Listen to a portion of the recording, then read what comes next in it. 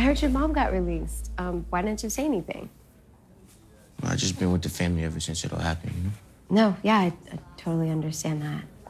Um, I mean, I'd really like to meet her after all she's been through, and it's pretty crazy. Everything Where is she's- Professor Reynolds?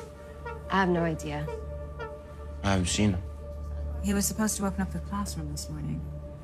Uh, Jabari, all the students are here. It's the first day of the ethics term.